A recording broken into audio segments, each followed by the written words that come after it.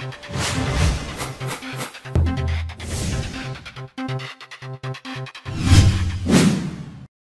signs of potential trouble here on the Korean Peninsula. South Korea's National Intelligence Service briefed lawmakers on Monday, telling them they have detected activity of possible preparations here in North Korea for a sixth nuclear test at the Punggye-ri test site. That's where they conducted the previous five nuclear tests. The most recent one was last September, just one week after the end of those joint military drills between the United States and South Korea. Regularly scheduled, they happen every year. We don't know for sure if there was a link between the test and the end of the drills, but what we do know is that those drills infuriate the North Korean regime. They wrote a letter to the United Nations Security Council expressing uh, their frustration, their anger. And uh, we met with North Korean officials here in Pyongyang. They told us they're watching the United States every move, and they say that North Korea will respond with tough countermeasures as a result of these ongoing joint military drills, which the U.S. insists are merely training, but which North Korea views as a dress rehearsal for an invasion. In fact, officials here said that if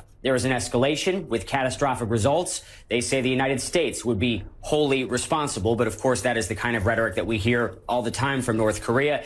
As for a nuclear test, it's important to point out that there were preparations observed back in April. At that time, the United States and South Korea thought a nuclear test was imminent.